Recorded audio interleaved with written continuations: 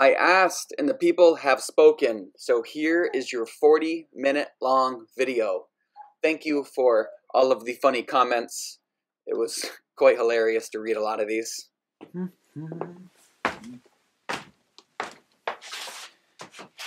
Hello, everybody, and welcome back to 1806. I worked a little bit last night. I didn't record any of it, and it's because I think I figured myself out now after a couple years. I don't like to record myself when I don't know what I'm doing. So then what I do, I think, is I work a little bit until I gain some confidence and some understanding about what I'm doing and how I'm going to do it, and then I record. And it makes me look a lot smarter than what I am. A couple things maybe have changed in the room.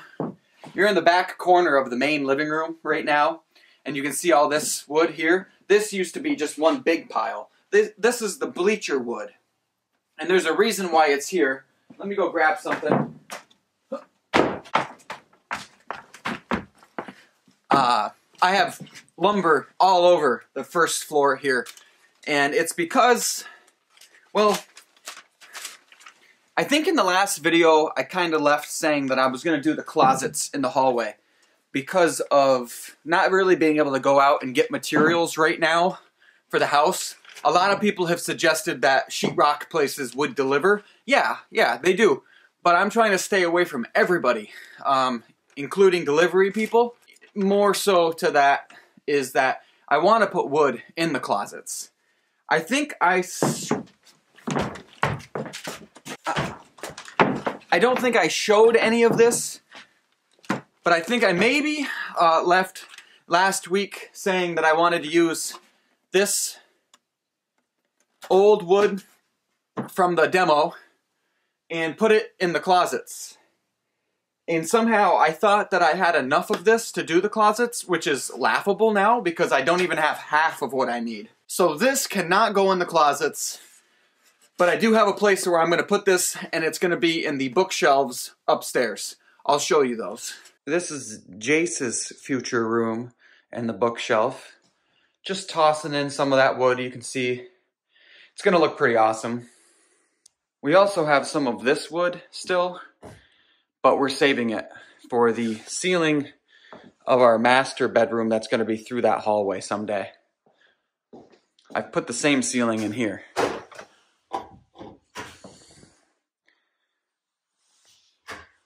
So the ceiling in the house upstairs will all be the same.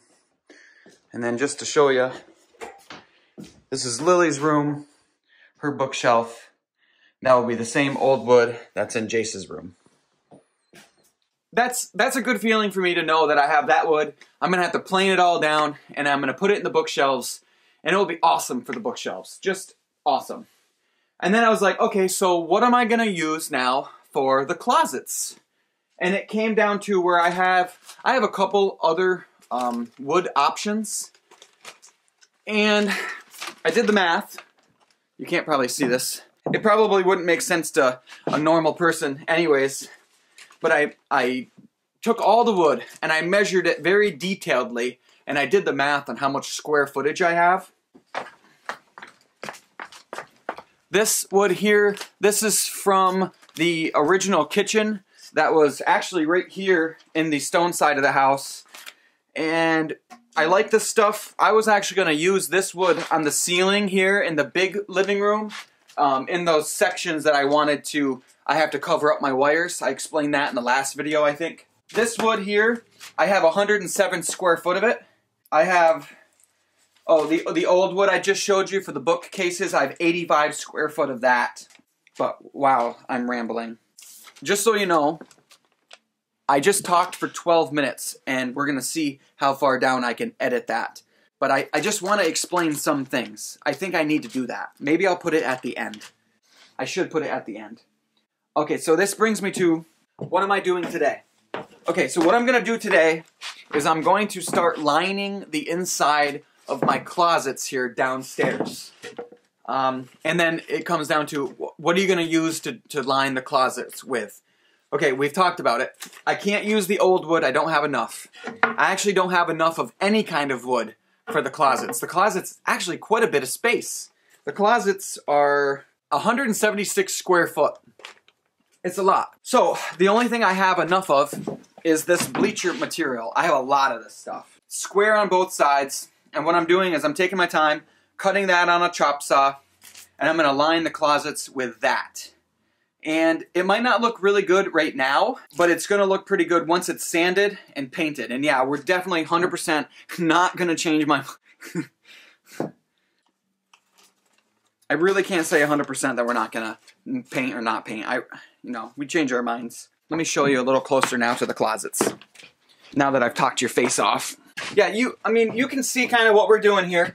I lined the back wall first, and then I lined the, the other walls here. And I'm just using my little nail gun and I'm nailing into all the studs.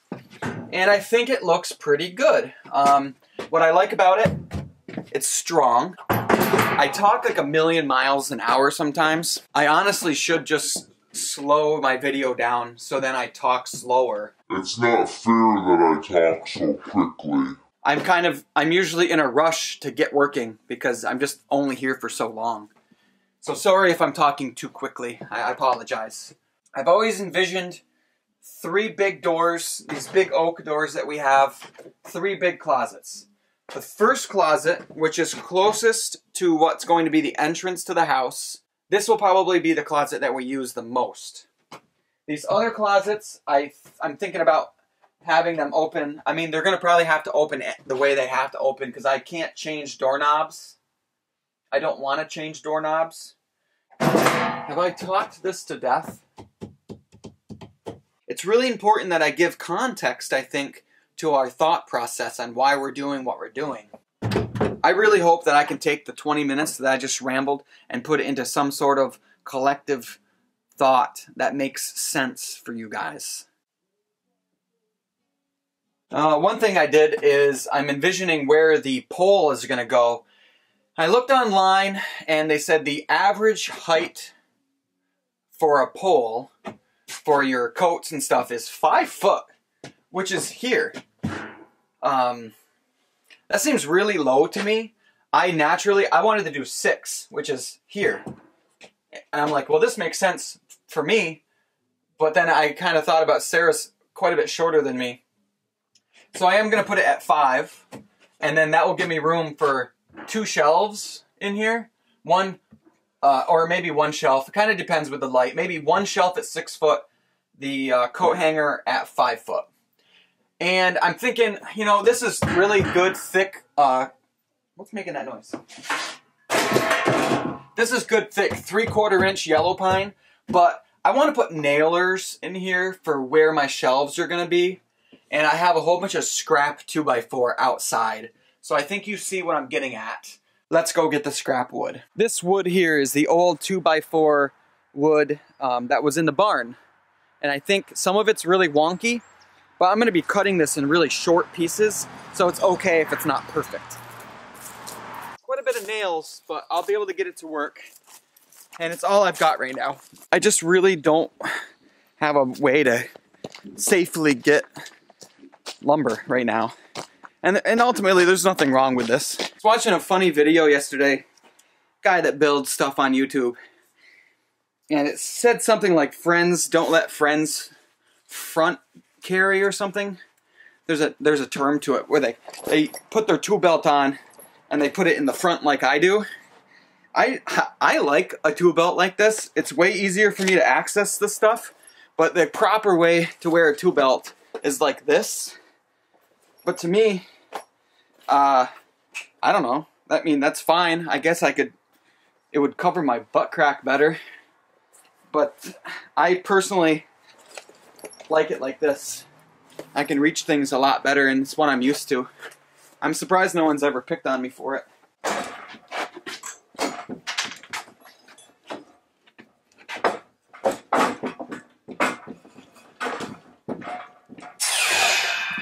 See, like, I'm not going to waste my time trying to take all those out just to save a 12 inch piece of board. This looks like a weapon that you would use during a zombie apocalypse.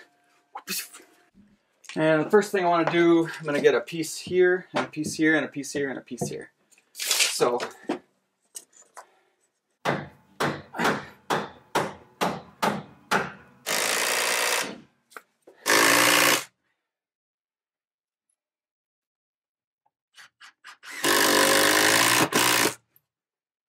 I just need to put some nailers on this side that correspond with the nailers I have in this wall now.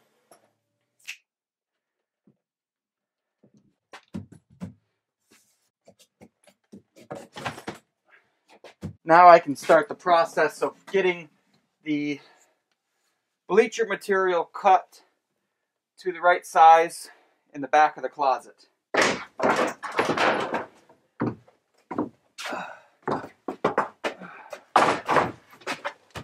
From like these bolt holes to these bolt holes is exactly 40 inches.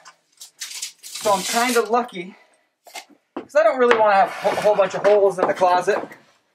So what I can do is cut these bolt holes right in half. You can slightly see where the bolt holes are. But when I put this up in the back of the closet, the next piece goes over top of it and covers that spot.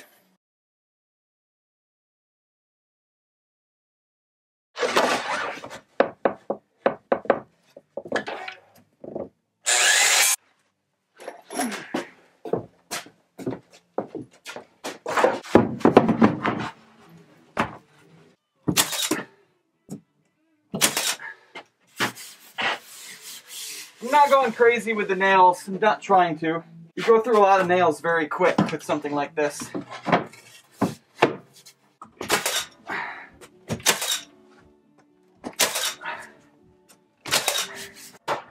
Look at that. That could not have been better. I always do the best cuts on camera.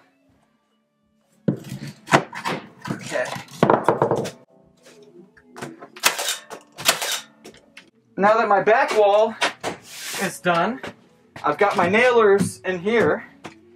I can go ahead and pick one side and the other and just same thing. The one thing about using bleachers, it's really funny, is there's gum all over these. I've seen so many gum pieces. I, I have seen one piece that said like, Bobby loves Susie.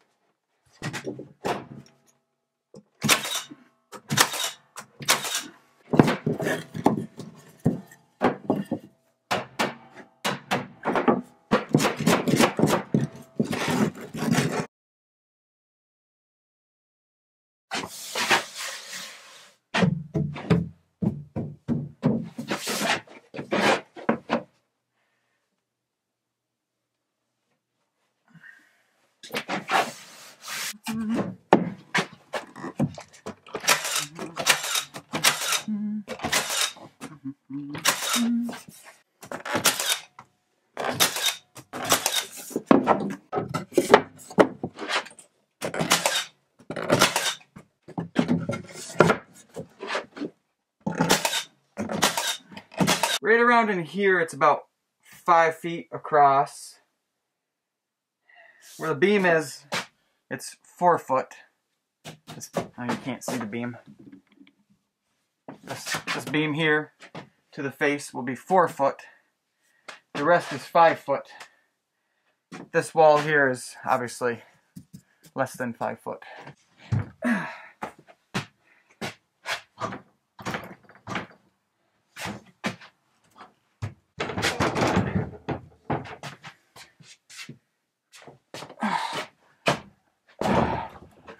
Like that. I uh, talked to Sarah on the phone, and she has some good opinions that we're gonna go with. First off, um, she wants, she's thinking the entrance to the kitchen is definitely gonna be this bigger opening. We've talked about that back and forth, whether it should be this big opening or where this door is. She likes this big opening So if it's this big opening, when you walk through, if you want to gain access to this first closet, it's way easier to have the doorknob on the right hand side and having it swing open this way. Way easier. And then for the craft room, schoolhouse room over there, it makes more sense to have the doorknob on the right also so you can open it, you know, open it up, get what you need, close it. And then if you want everything to be the same, then this one makes more sense to be on the right hand side. Open it, get what you need, close it. This one technically could be either way.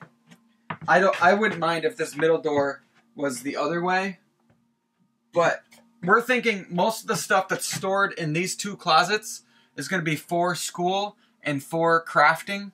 And so she wants these to be quicker access coming from this side of the hallway instead of that side of the hallway. Hope that makes sense.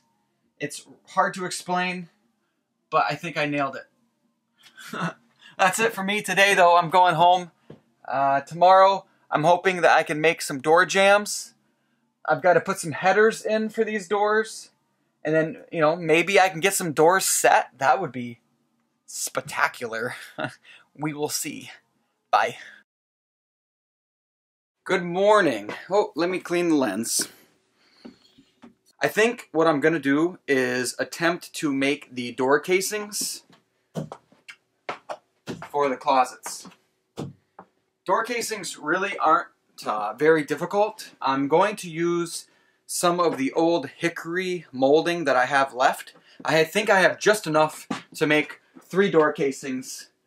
And it's really nice, dense, thick, heavy wood, so it's perfect for these big oak doors. I wish I had more of it, to be honest, because then I would make all of them with that hickory, but this will be it for the hickory. I also need to put in some header type material up here, which I'm going to do with all scrap 2x4 stuff. Once I know how high the doors are going to go. A lot to think about here when you're setting a door. But let's let's see. See how good this goes. I just found out that all of these doors are different heights and they're not uh, like this side might be 89 inches and this side might be 89 and a half inches. So every door is wonky. This is the smallest of the two. This is the largest of the two as far as height goes. I want them to look the same here. I want them to be the same. Especially for my trim. I want to put one piece of trim all the way across. The tops are all kind of the same, so it's the bottoms that have probably been cut. So I'll be cutting the bottoms and I'm gonna make them all 88 and a quarter inches. So the way it's gonna go is my 2x4 is up here, and then I'm gonna leave a half inch gap for shimming. My casing is gonna be three quarters of an inch. I'm gonna have a quarter inch gap, and then the door should come right to there. Does that make sense? I'm not gonna trust that my subfloor is perfect, so I'm gonna measure every single one the way I just did that one.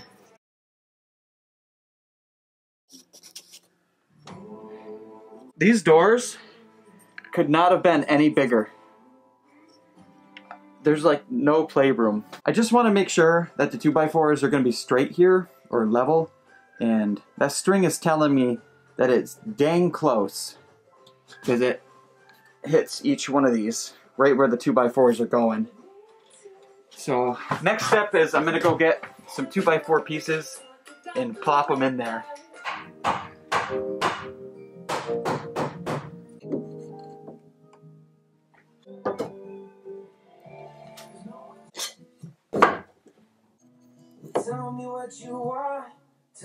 What you need. cannot satisfy the hunger in your chest?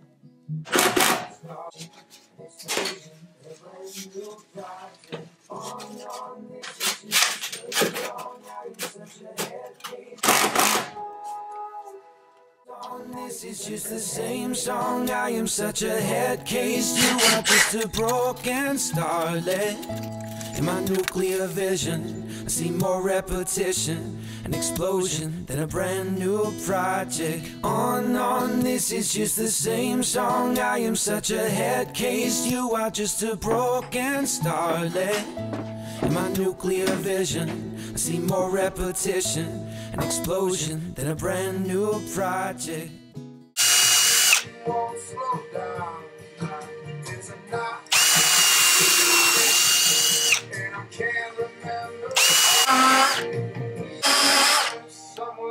Lost. In.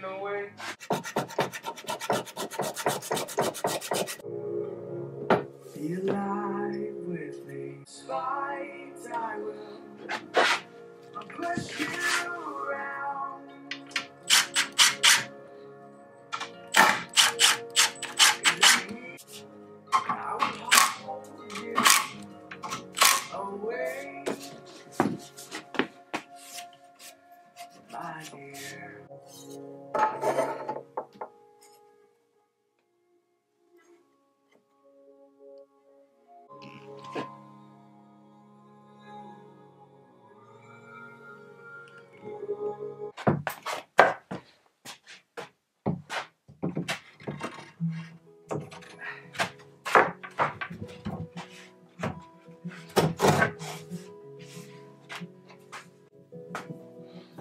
while back, I bought this tool.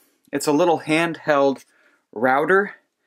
This tool is amazing for cutting the door jambs where the hinges go. You can just use one of the hinges and you set your depth of cut right to eighth of an inch. I actually need to set that a little higher. All you do is a little tiny wheel right here and you just kind of set it until you think it's good. Locks into place. Now you have to be careful with this as you're cutting. I'm gonna try to record here for a little while. I know the camera stopped recording sometime because the battery was dead. I've done this both ways with the chisel and now that I have this, this tool is amazing. I cut this door out in a matter of uh, seconds. I, I think it was less than a minute. And then I just get in there with the chisel and I clean up my lines. Now what I gotta do is take the hinges off this door, get the one side of the hinge on here, screwed into place, and then I can try to set the door, knock in the pins, and see how it shuts. I'm kind of weak right now, just kind of tired. It's funny, I thought I could do three doors in one day.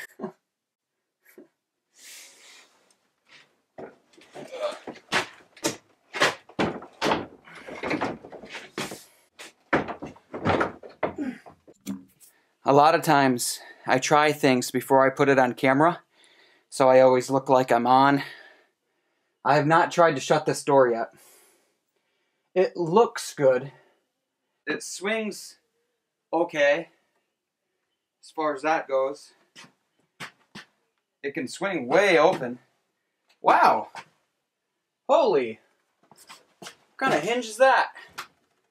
That door can swing all the way. Woo! That's interesting. I have a feeling it's going to be too tight.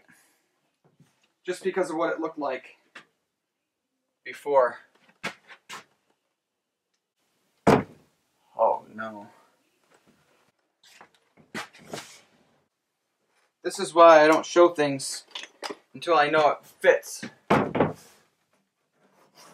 I'm sure some people like the brutal honesty. So you're off about three or four razor blade thicknesses. Door here, it looks great. Hinges look good.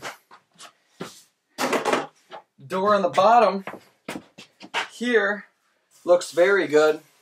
But as it goes up to the top, top goes in. And I don't I don't know if it's the casing because the casing is really good to my framing. I don't know why that door is doing that. I'm gonna see if I can get it to go into place though.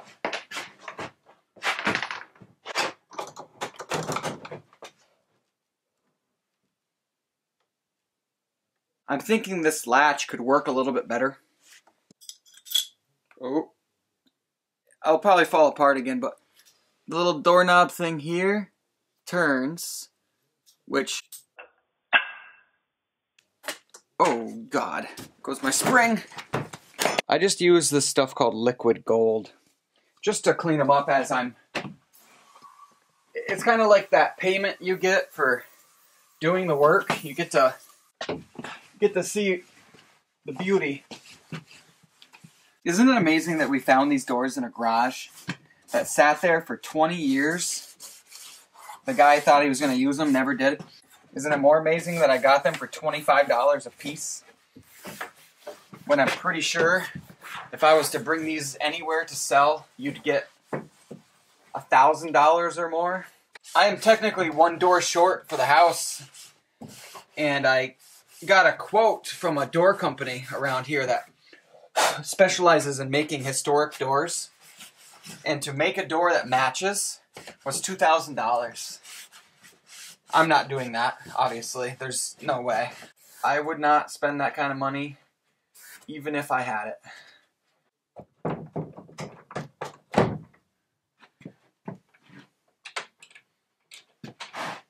Couldn't be happier, honestly. But I'm also very tired and and a little let down that I only got one installed.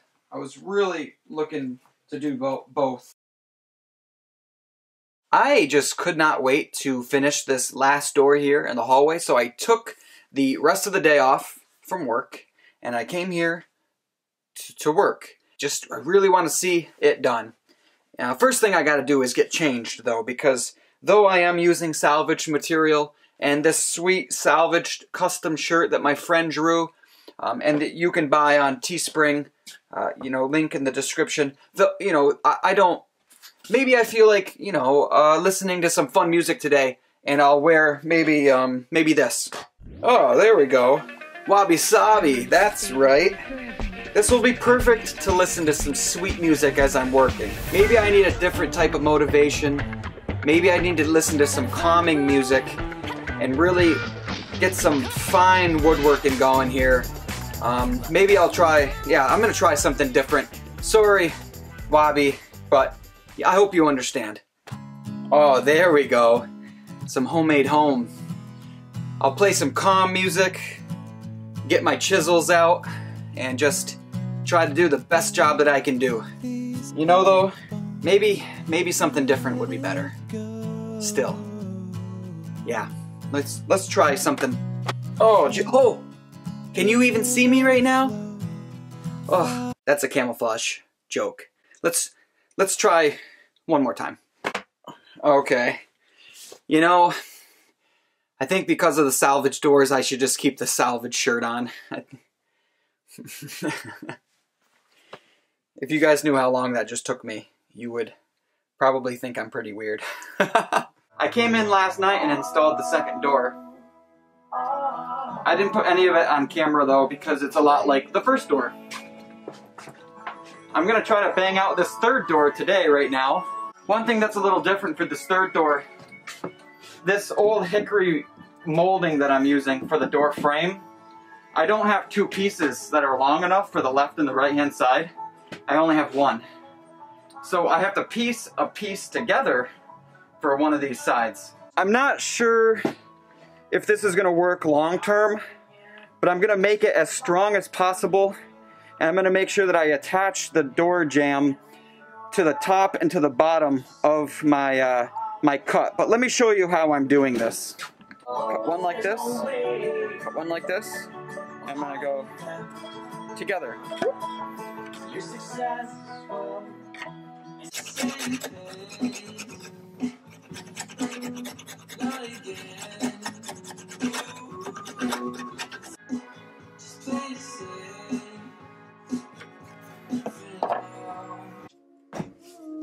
Is it perfect? No. But is it wicked cool? Yeah. We're gonna be able to cover this side up with trim for the door trim. The inside of the closet, you'll always see this joint. For years and years. With glue, that's gonna be strong. And you can barely see the cut.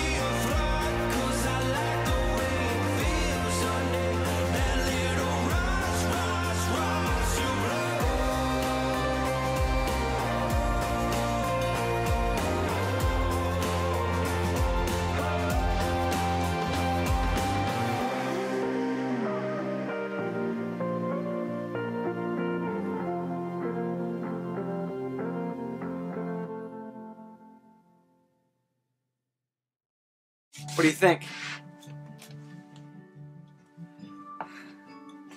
From an old church to an old stone house. It's what I've always envisioned for this hallway. But to say that I am happy is a huge understatement. I couldn't have asked for any better tolerances with this door. It is just a sixteenth of an inch. This one's an eighth of an inch. This one's an eighth of an inch. They shut good. They're wobbly because I don't have stoppers on the inside. I will put stoppers in there. Then you won't be able to see any light coming in from them, and they'll shut more solidly. Now, when I go to case this all out, I'll be putting my dark oak right in here, which will kind of recess the doors a bit, three quarters of an inch. That's okay. That's what I wanted to do. But this, I can't even believe it. If the people we bought the house from came here and walked down this, it would seem still a little bit like their home because they always had doors on their left going through here also. Now, granted, and they always had a bathroom down here in this corner. So it's like we changed everything, but then kind of made it the same. You know? You get what I'm saying? That sort of stuff makes me so happy. So it's it's close to the way the old blueprint used to be. It had two doors, one for the basement, one was a closet, and then there was a room. I demoed this house. I remember demoing the room that was in here and the the old hallway that had a closet just like this, had one closet. And then right here was the door to go down and into the basement. And I just remember we've always been kind of up in the air on what we wanted this closet area to look like. This is a hallway that you'll be able to go into the main living room, kind of where you are here. Just the back in there. One of these holes here will go. Let me show you. One of these doorways here will go into our kitchen eventually. Down the hallway goes to the bathroom. I cannot wait to show Sarah this. I might not even put anything on Instagram. I want her to see it in person first. I don't want her to see it on the screen first. This door has a wooden doorknob.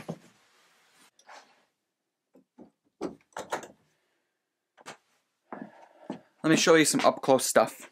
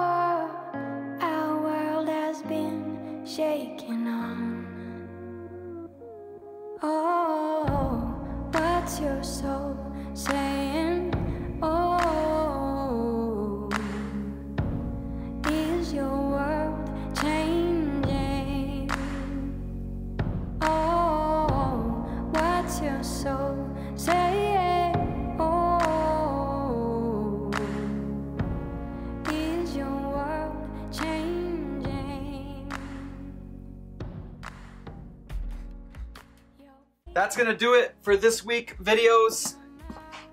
Hallways kind of almost sort of done. I still need to do the ceilings and the first piece up there. That'll be this weekend. As always, thanks for watching. Remember to hit the thumbs up if you enjoyed, and I'll see you next time I turn the camera on. Have a good week, everybody.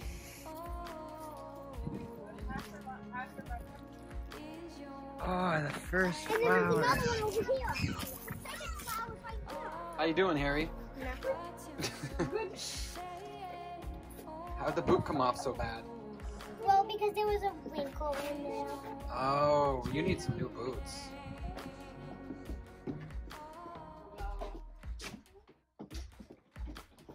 Hi.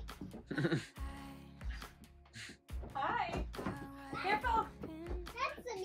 We gotta be careful of fingers, guys. We got three doors, three kids, and three closets.